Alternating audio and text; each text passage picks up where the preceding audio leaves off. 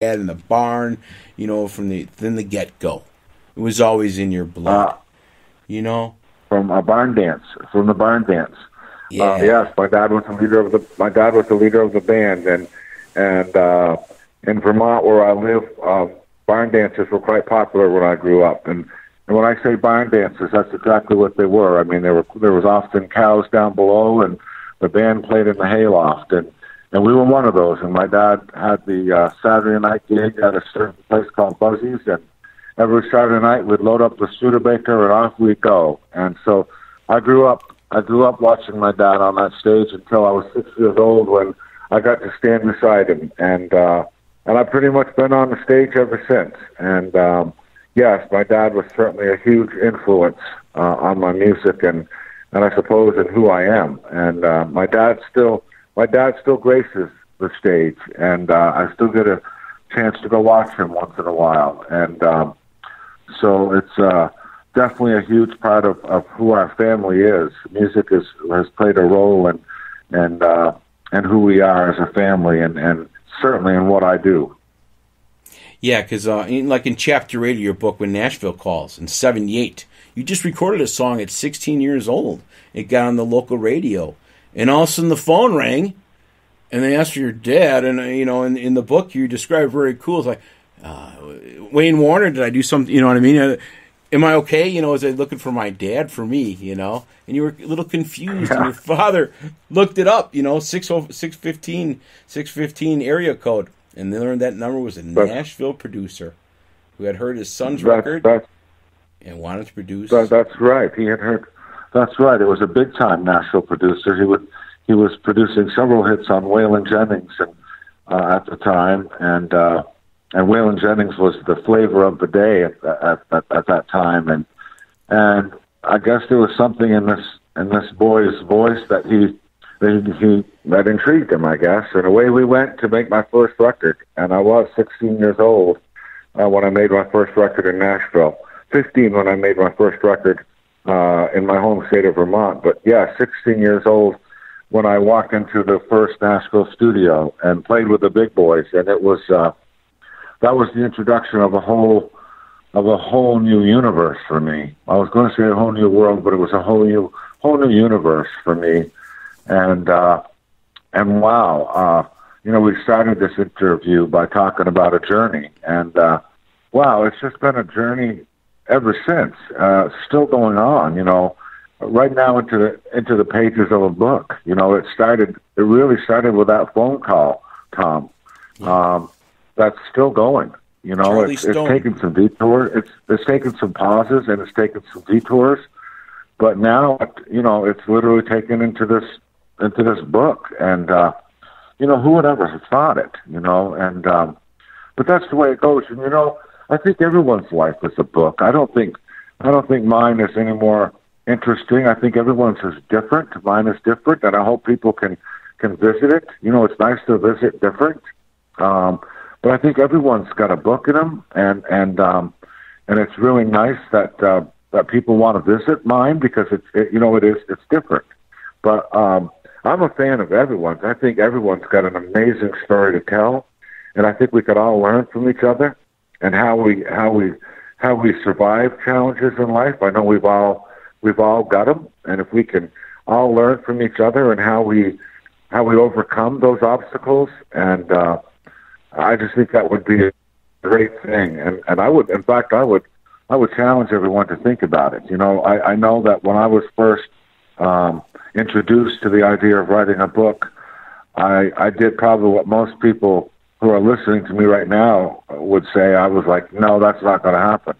Um, but uh, but here we are. You know, it did happen, and it was it was uh, it was challenging, and it was um, it was difficult in, in some ways, and it and it uh, it was it made you vulnerable in a lot of ways. But but again, I think I think that um, we could all learn so much from each other and how we and how we meet these challenges and how we find how we find the you know the good and and and all these uh, things that come at us and uh, how we survive and and uh, so uh, and I'm just I'm just amazed that people want to want to turn these pages that I wrote into it. I, I literally every single day am hearing from people who are doing just that with Backstage Nashville, and I'm just so humbled and, and honored um, by the fact that they just read one word after the other that I that I that I put down. It just blows my mind. Um, but I'm also honored by the fact that I was able to write the words that I wrote, you know, about the people that I've worked with, and um, you know, everyone from, uh, you know, the, and people that I've met, from Glen Campbell to well, to Ray Pennington and to Billy Ray Cyrus and to Alabama, just to everyone that's in there. Um, mm. So it's, it's you know, again, and the journey hopefully continues. You know, I don't think I'm going to write another book, but who knows? I never thought I'd be writing this one. But all it all stemmed from it all stemmed. You're right, from my dad and from those barn dances and from that phone call. It's just a continuation of the ride. Buzzy's barn dance at Buzzy's. That's right. Buzzy's. I love it. Um, we're running out of time. You have another interview at the top of the hour, buddy. Tell us, everybody, where we can find the book, uh, Barnes and Nobles, online, everything. Uh, hot press and what's been going yeah. on to catch And if they want an autograph, if they want an autograph, and I, I, I love to do it, go to waynewarner.com and uh, I autograph them all uh, one day a week, and out they go. And I'd, I'd love to do that because I love to get to know people, and I love that connection. So waynewarner.com. Um, I hope they'll come there. But yes, any other place that books are available. Yeah, um, Good stuff. Let's talk quickly about. We got a couple more minutes. The song. You're in the studio today. I caught a little clip that you sent out, a little audio. You got new stuff happening, buddy. What's happening on the music? I am in the too? studio. Yes. yes. finishing up a new uh, album called Label X. We're going to be uh, in Nashville in the studio on August 22nd, working on the tracks. And my one of my favorite places to be if I'm not hanging out with my sons. Um, that's my uh, uh, my zone, and uh, can't wait to get back in there. I'm always in there with some great, great, talented people, and uh, yes, I'm anxious to get the new album out to you. And uh, and um, yeah, I was in the studio today, and uh, when I'm not, not when I'm not in the book world now, I'm I'm trying to sneak in the studio every chance I get. Yes, and and let's not forget the fantastic CD All in Fun. Now that's available everywhere. CD Baby, Amazon, All in Fun's where you're going to find these tracks. Rockin' Turbo Twain, God Bless the Children, God for a Minute, Flight Was a Prayer, Wasted, all these stuff. And I've only touched a little bit. Last night with Kathy Stewart, I played a lot of your tracks on there. But All in Fun is Wayne Warner's super CD too. Well, thanks. Yes, I think that I think that's wherever you said it was. I believe so. Everybody knows where to find that good stuff. All right, buddy, let me get you to rest up for your next chat because we're going to come back we could talk a lot more, just touch little base. It's so easy when I just talking to my brother on the phone about his music and life. And, and again, thank you. A couple weeks ago, you got touch with me and I, hey, Tommy, I got a script for you and I got a video and I'll work on that. I just a little down now. I get my little vanity up, should I say, working out and I'll look better in the video. You know what I mean? okay. What well, I hide behind the radio Thank you so much, for. my friend.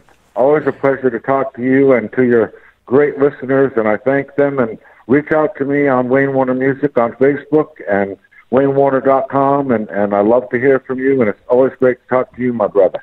I love it, man. And we're ending this God for a minute awful all in fun. And by the way, every I've had friends that have heard this the first time and they want to know who you are, where that song come, it touches everybody right away.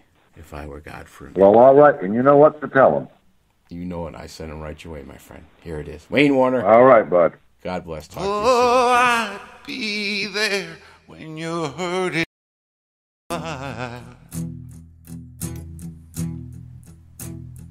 And when lonely wraps around you like cold barbed wire. I'd whisper in the wind, say my love was true. Be in every drop of rain so I could surround you. I'd say to never mind the shadows, see the light therein. And I'd make every summer night a long weekend. And I'd hold up my lighter to Johnny Cash. I would pound on the devil, get him off our backs. Drink southern lemonade with honest Abe, and I'd let you know I heard every prayer you prayed. And I wouldn't have a day without you in it. Oh, if I could be God for a minute.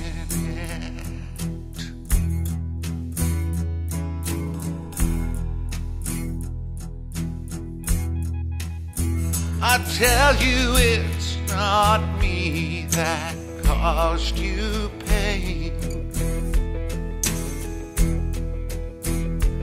But together we'd get through, I'd swear to my own name.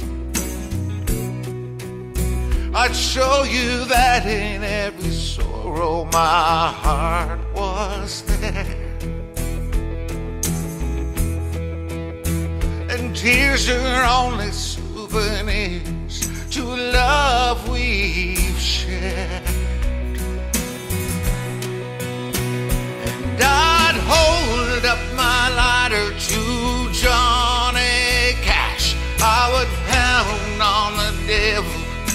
Get off our backs. Drink southern lemonade with honest Abe, and I'd let you know I heard every prayer you prayed.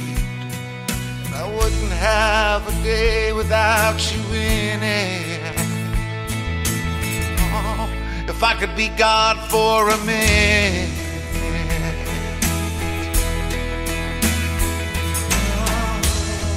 Well, the devil's talking to you. He's telling you lies. He's messing with your head and he's being prescribed. Get it right in the pledge, get it right in the schools. Don't you know now it's time to smash those rules? I talk to the cross on my rear view, cause every day would be heaven if I only had you. I'd hold up my lighter to Johnny Cash. I would pound on the devil, get him off our backs.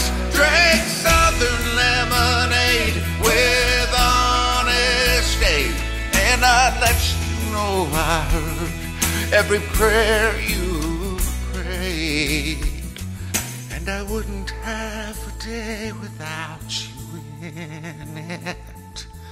Oh, if I could be God for a minute.